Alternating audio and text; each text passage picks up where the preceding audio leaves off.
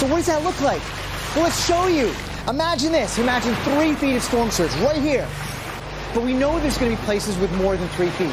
Imagine six feet of storm surge. Now this completely floods out. Imagine this, nine feet and even beyond of flooding, of inundation. This is practically not survivable. If you need to go and or where you need to go, go to floridadisaster.org. And by all means, everybody, please stay safe.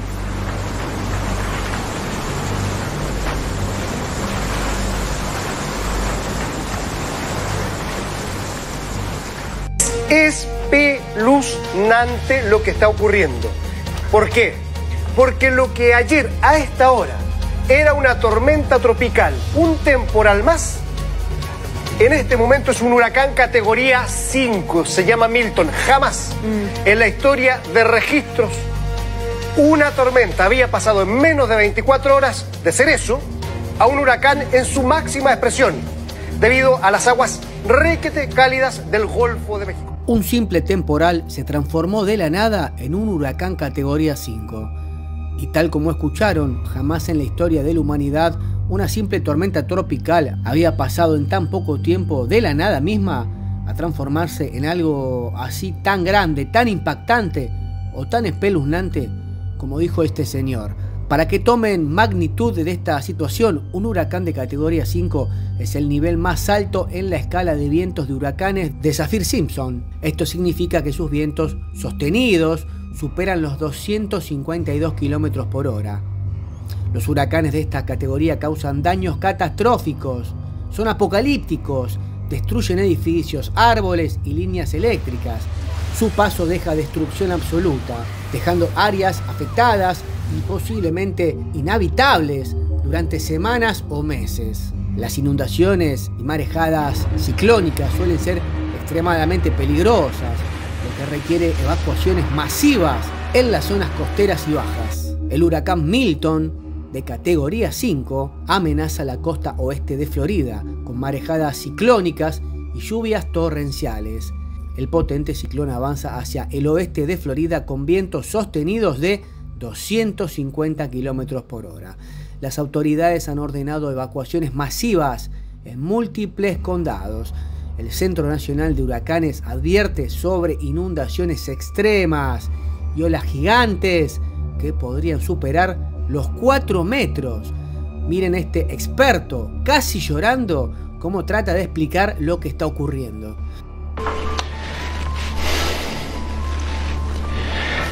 Just an incredible, incredible, incredible hurricane. Uh, it has dropped.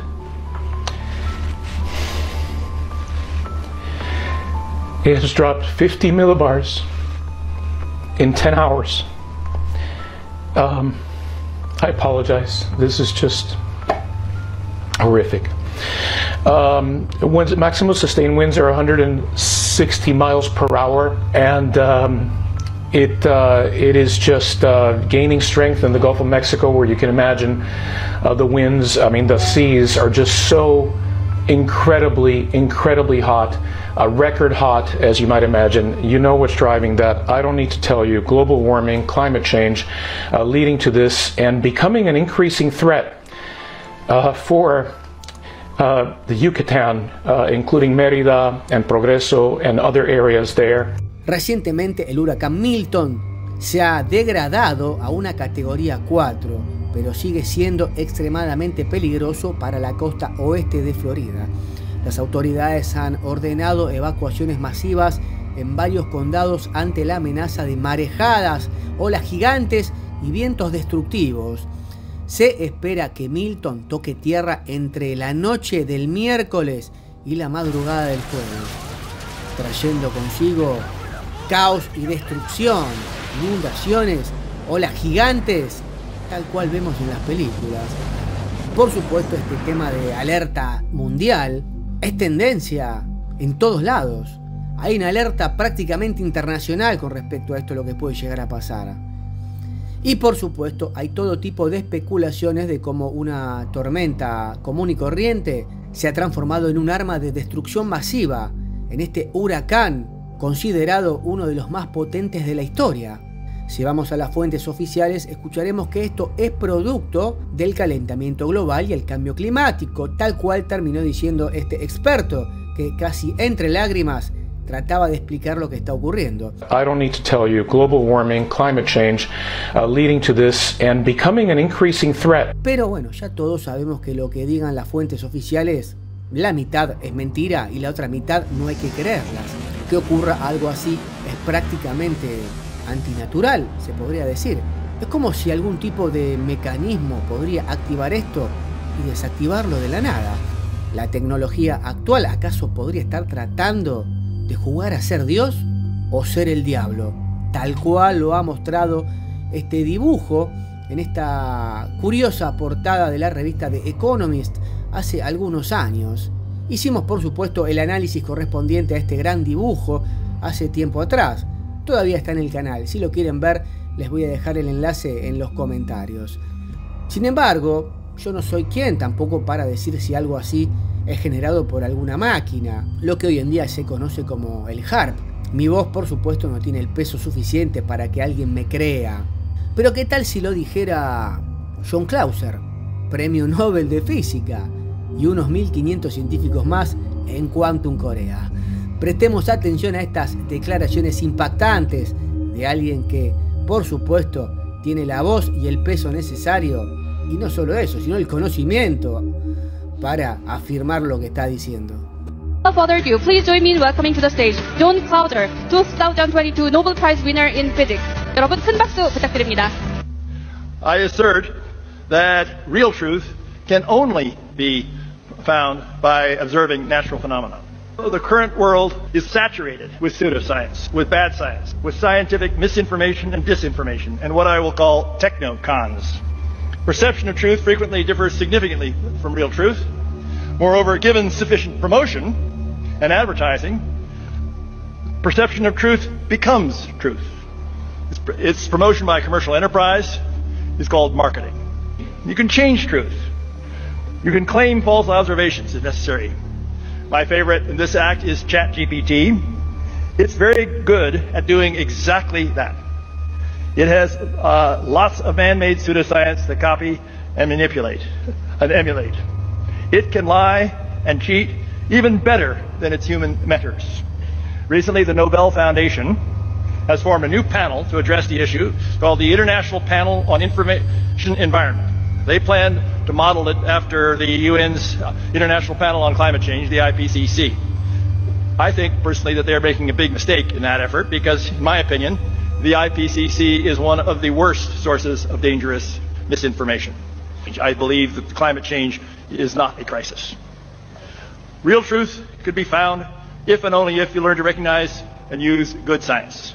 It's especially true when real truth is politically incorrect and does not reflect political business aims or desires of leaders. Regarding climate change, the, the dominant process, I believe, has been misidentified by factors of 200. Their lack of scientific knowledge allows science and pseudoscience to promote what I will refer to as technocons, political opportunistic aims. Very importantly, a referee must apply good calculus-based statistical methods, along with good common sense. I would also like to consider methods used by two of my former associates at University of California, Berkeley, Nobel laureates, when they were shown data, a group of data points, and told, look, the trend is obvious. Un canal del tiempo en los Estados Unidos mostró unas imágenes interesantísimas en tercera dimensión de una realidad simulada donde se ven los efectos que podría ocasionar el huracán Milton con altos niveles de agua que podrían alcanzar los 15 pies en algunas zonas de Florida. Presten atención a esta simulación por computadora que es realmente impactante. Now this completely floods out the first floors of homes and businesses, and the only way to escape that is to move to the higher floor of a building. Now, unfortunately, there are going to be places that get more than six feet of storm surge flooding.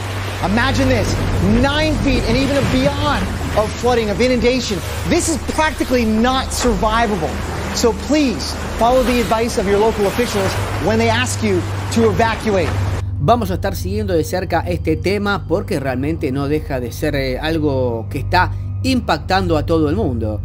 ¿Qué va a pasar cuando este huracán toque tierra en Florida? Suscríbete al canal, activa las notificaciones porque vamos a estar tocando esta temática que va a durar varios días, ¿no? Por supuesto, está todo el mundo pendiente de lo que va a pasar con el huracán Milton.